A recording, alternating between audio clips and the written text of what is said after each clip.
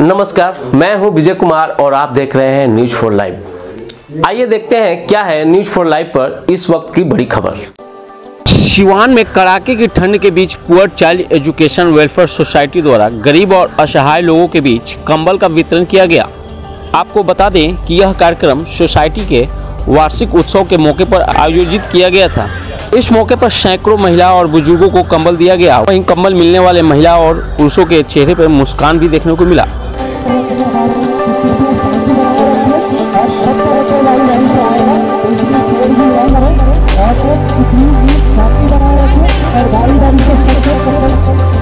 जाएगा तो करना है। आज का